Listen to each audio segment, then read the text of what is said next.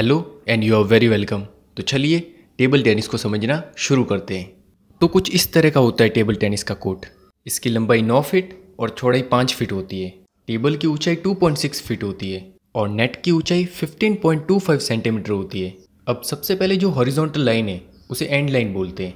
इसके बाद जो वर्टिकल लाइन है, सेंटर में, उसे सेंटर लाइन बोलते हैं। अब जो वर्टिकल लाइन साइड में है, उसे साइड लाइन बोलते हैं।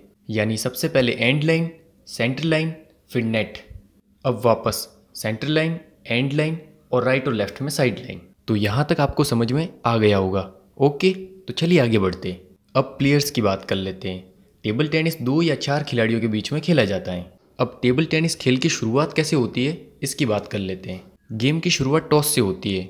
जो टॉस जीत जाता है, वो डिसाइड करता है कि पहले कौन सर्व करेगा, वो या अपोनेंट अब सर्विस की बात कर लेते हैं। जब सिंगल्स के बीच में मैच हो रहा हो यानी दोनों साइड एक एक प्लेयर हो। सिंगल्स में आप सर्विस किसी भी तरह से कर सकते हैं। मतलब जिस डायरेक्शन में आप सर्विस करना चाहते हैं। यानी, आप अपने राइट से अपोनेंट के राइट या लेफ़्ट दोनों में से किसी भी डायरेक्शन में सर्विस कर सकते हैं। बस आपकी सर्विस आपके कोर्ट से बाउंस होकर, आपके अपोनेंट के कोर्ट में बाउंस होनी चाहिए। अब आपका अपोनेंट उस बॉल को हिट करे तो ऐसा ही होगा। पहले बॉल उसके कोर्ट में बाउंस होगी और बाद में आपके कोर्ट में। ये तब तक चलता रहेगा जब तक कि दोनों प्लेयर्स में से किसी एक को एक पॉइंट नहीं मिल जाता। अब सर्विस में डबल्स की बात कर लेते हैं, यानी जब दोनों साइड दो दो प्लेयर्स हो। डबल्स में सर्विस हमेशा आपके कोर्ट के राइट साइड से अपोनेंट के कोर्ट के राइट साइड की ओर की जाती है, जैसा कि इस इमेज में दिखाया गया है। फॉर एग्ज़ाम्पल दो टीम हैं टीम ए और टीम बी टीम ए में दो player A one A two और टीम बी में दो player B one B two है। अब अगर ए वन बी वन को सर्व करता है तो बी वन अब ए टू को करेगा। अब ए टू बी टू को करेगा। अब वापस बी टू ए वन को करेगा।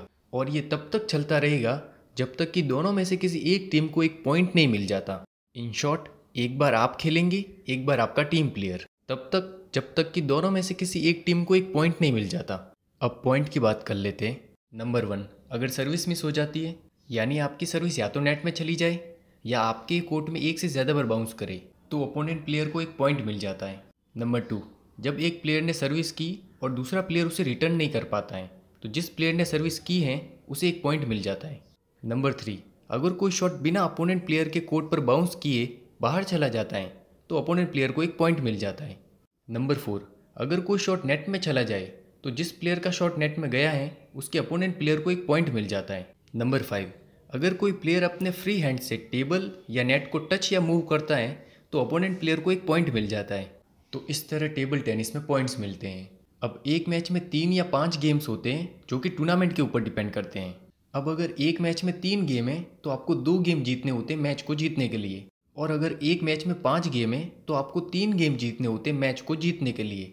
अब एक गेम में ग्यारह पॉइंट्स होते हैं, यानी आपको एक गेम जीतने के लिए ग्यारह पॉइंट्स जीतने होते हैं। शुरुआत में आप घर से ही प्रैक्टिस शुरू कर सकते हैं और बाद में किसी टेबल टेनिस क्लब को ज्वाइन कर सकते हैं। अपने टेबल टेनिस स्किल्स को और इम्प्रूव करने के लिए। एंड कॉन्ग्रेचुलेशन आप एक नया स्पोर्ट्स सीखने जा रहे हैं। मैं अलग अलग स्पोर्ट्स और स्पोर्ट्स पर्सन के ऊपर आगे भी और वीडियो बनाऊँगा। तो आप मेरे चैनल को ज़रूर सब्सक्राइब कीजिए ताकि वो वीडियो आपसे मिस ना हो। And thank you